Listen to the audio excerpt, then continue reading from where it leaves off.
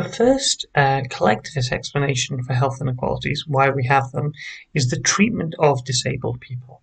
Now, collectivists would say that in the UK, disabled people are treated in such a way that um, their disabilities are exacerbated, made worse by the way that they are treated, particularly by the UK government, um, and that actually their health is being made worse because of that.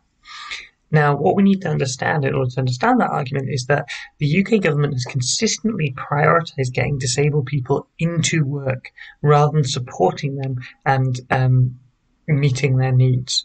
Um, this comes from kind of welfare reform, which came at the start of this Conservative government in 2010, when they decided that one of the big problems in the UK, one of the reasons why the UK didn't have enough money, um, was because they were spending too much money on benefits. And we'll talk in a lot more detail about a lot of these um, reforms, which led to um, really huge cuts in people's benefits, damaging uh, lives and making it much harder for people to get by.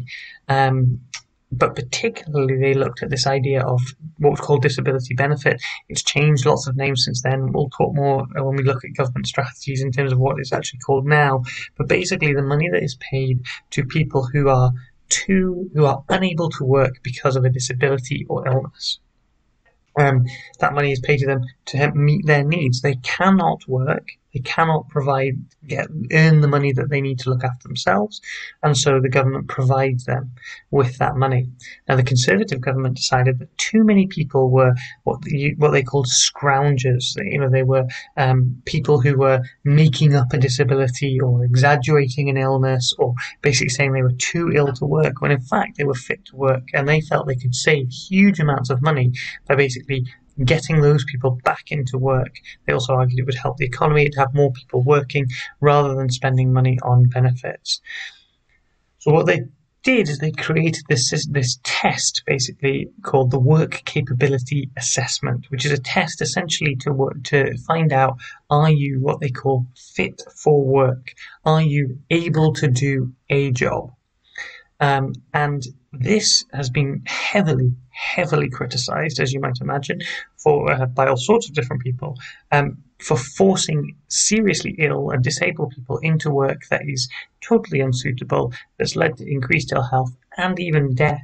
Because if you are seen as fit to work according to this test, but you can't work, even if your doctor said that you should not be working, or you're physically not capable of working, then you will not get disability benefit. You will not get that money that's, that meets your needs. So you won't get that money to meet your needs, and you won't be able to get a job in order to earn money and, and meet your needs. So basically, you end up with nothing, and people have literally starved because their disability benefit has been cut off by the by the UK government.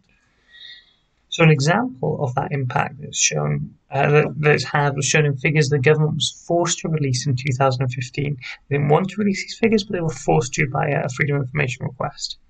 And these showed that 2,650 people died soon after being declared fit for work.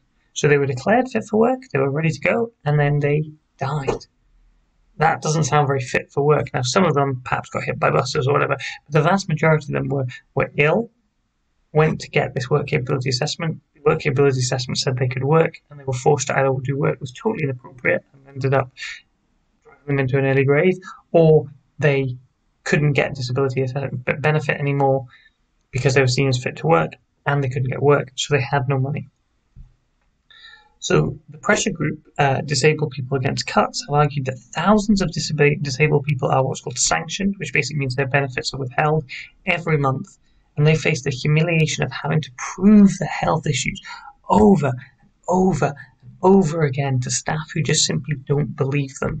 And this is particularly complex when you're talking about health issues that are perhaps um, more uh, what we call invisible disabilities. So, you know, not somebody who's missing a leg or an arm, but perhaps somebody who has um, a chronic illness, somebody who has severe mental health issues. These people are not able to work, but but the work capability assessment um, often finds them fit to work.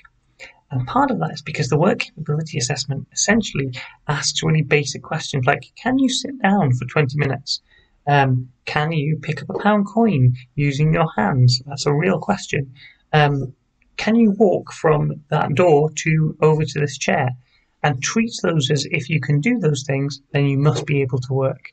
Um, rather than actually saying, well, what, what, what health issues do you have? What's your disability? How can we support you with that? It basically says if you can do these really basic things, then that means you're fit for work and you should be able to get a job. Um, and this argument that, the work capability assessment isn't fit for purpose, that it's causing lots of problems, um, is supported by a lot of collectivists. And they point out that the assessment has proven to be massively flawed. And 67% of people who were found fit to work and appealed basically said, I'm not fit to work, and went to an appeal, had the verdict reversed. So two thirds of people who were found fit to work shouldn't have been found fit to work. They were not fit to work. They ticked all these boxes on this test, but this test just wasn't fit for purpose. The problem is, even those who had the verdict reversed were forced to go without the financial support for many months because the appeal process takes ages. So they were found fit to work, they had their disability benefit cut, they appealed it, they couldn't go to work in that time, so they went without any kind of support for months and months and months. Um, and the work capability assessment has been linked to depression, illness, and even death among those found fit to work.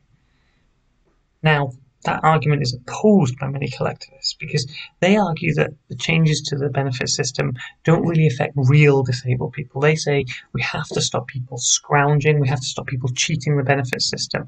They argue it's more important to stop fraud and perhaps some real disabled people, whatever that means, will slip through the cracks. But it's more important to stop the fraud.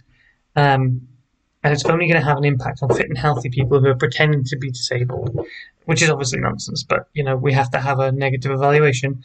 Um, UKIP, the political party, claimed in 2013 that 75% of incapacity benefit claimants—that's what used to called incapacity benefit—75% of them are fit and healthy. Where they got that number from, I have no idea. I mean, I can have a guess where they pulled it from. Um, but the U- but it's just made up. But this is a, a real stereotype about about people, quote unquote, living on benefits, um, often perpetuated by the media. And the UK government has insisted that the work capability assessment is essential to prevent benefit fraud. And again, that's their argument. Not that it's helping people, um, but they don't want to give away any money.